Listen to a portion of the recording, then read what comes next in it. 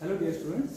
In la previous or last lecture, we have discussed different morphological, cultural, chemical, uh, cultural or uh, colony characteristics with respect to the classification and identification, which can be used for the proper arrangement and identification of that organism. That's why you can place that particular organism at particular hierarchical position at classification system. In this lecture, we will discuss about the another characteristic that can be most important characteristic that is immunological characteristics. With respect to that, how the immune system of that particular host react with uh, that uh, antigen or foreign particle which can be released or uh, considered as a pathogenic organism and how antigen antibody reactions uh, could be detected. In this regard, immunological characteristics we can discuss. The certain chemical compounds of microbial cells are called as antigens. Antigenic characterization of microorganisms has great practical importance. When we talk about the any pathogenic organisms or it is for uh, unknown for our body, our body consider that particle as a uh, foreign particle and against that our body uh, or immune system reflects a reflux action including hypersensitivity or uh, different symptoms. In this, if that microorganism is entering into our body and invade in our body, so that to treat or uh, remove that particular uh, foreign particle, our body uh, shows a response against uh, that particular foreign particle, or we can say antigens. Antigen are nothing but fo- foreign particle which is unknown for our body. So, uh, with respect to that uh, foreign particle or we can say antigens, our body or immune system shows a uh, response and that response is nothing but a formation of different uh, particular bodies or cells in our body and that nothing but are called as antibodies. So, in this regard, uh, when foreign particle enter uh, to our body, our immune system uh, shows a reflux action, action against that foreign particle and they form a defending or we can say uh, different cells to uh, avoid that invade, uh, invade or growth of that particular foreign particle in our body and that is but antibody. So their antigen antibody reactions are uh, have a clinical importance in our uh, uh, health or we can say in medical microbiology in uh, with respect to what type of antigen is entered into our body and what type of antibodies are produced by the uh, immune system, we can detect particular type of infection present in our body or which type of pathogen organism entering into our body. So, these antigenic characteristics or we can say antigen antibody reactions have most important clinical importance in our uh, health. If microbial, microbial cells enter the animal body, the animal respond to their antigenic the antigens by forming specific blood serum protein called as antibodies which bind to the antigens. Normally, antibodies are produced by our uh, immune systems and they are nothing but a we can say they are soldiers of our body. Uh, they try to avoid the invasion of that particular pathogenic organisms which are foreign for our body and they are nothing but antibodies which are protein in nature. So it is nothing but normal mechanism of every individual or every animal so that uh, we can uh, uh, save our or save our body for foreign infections. So antibodies are highly specific.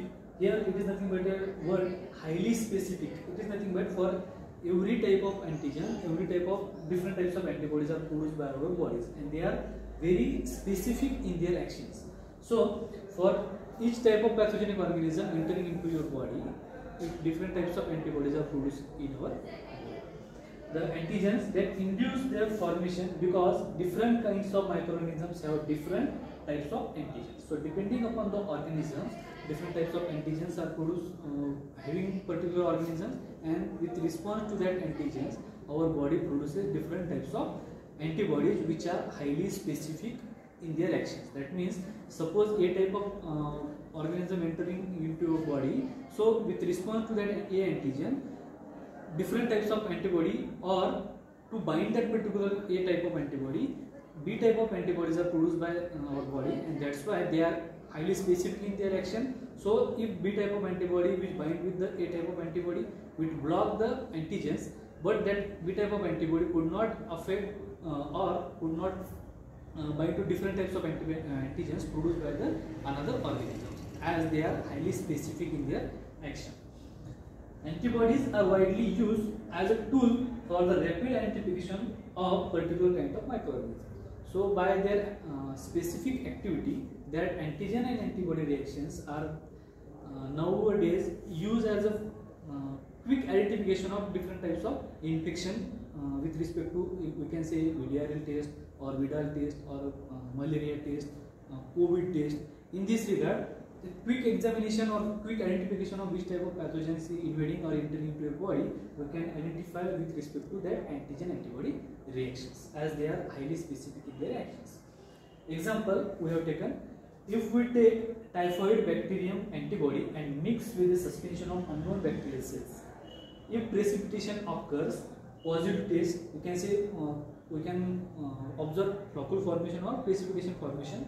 So, if the uh, result for antigen antibody it, it shows, or we have taken a bacterial uh, antibody and if we uh, combine with the bacterial cell serum, we found if the precipitation occur or floccule formation observed, we can consider that test as a positive test.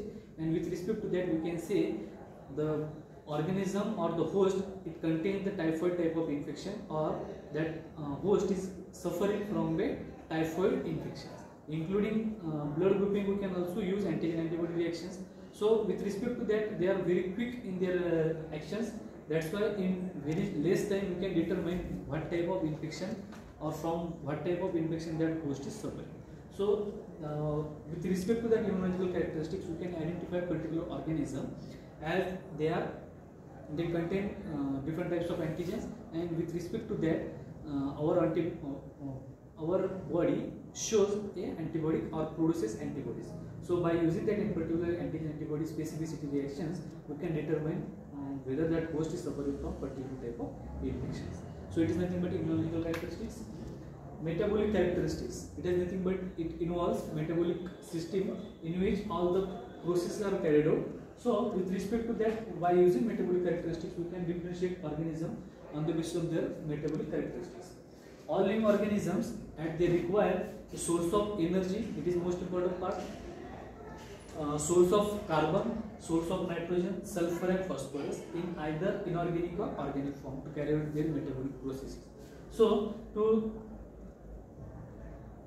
depending upon the source utilisation of source energy microorganisms are differentiated which type of energy source or which type of carbon nitrogen sulphur sources they are use by that organism organisms of categories autotrophs uh, with respect to the uh, metabolic uh, properties autotrophs are capable of synthesizing their entire cellular constituent from the simple inorganic compounds in the medium while another group of organisms that is heterotroph fail to grow unless one or more essential metabolite or growth factor or vitamins are provided in the medium. Autotrophic organisms are nothing but they are carried out their whole photosynthetic mechanism and they produce their own food material and that's why they are categorized into autotrophs. Depending upon the ability of organisms, as they are not uh, they are not unable to produce their own food material, they are grouped into heterotrophs. As we have to provide different uh, basic uh, nutritional fact, uh, constituent for the growth of that organism. Depending upon that particular metabolic process, organisms are categorized into different groups, including phototrophs. It is nothing but a group of organisms which obtain energy from the sun. That means they use sunlight as a source of energy for their metabolic processes. Where the growth is depend upon the exogenous inorganic hydrogen donor. When the organism use inorganic substance for their energy uh, production, the organisms are nothing but called as photolithotrophs. It is another group of organisms depending upon their metabolic process. Organisms are again categorized into whether they are autotroph, heterotroph. These are two broad categories. Apart from that, depending upon which type of uh, energy source organism is using, they are categorized into phototrophs as they use uh, light energy as source of energy.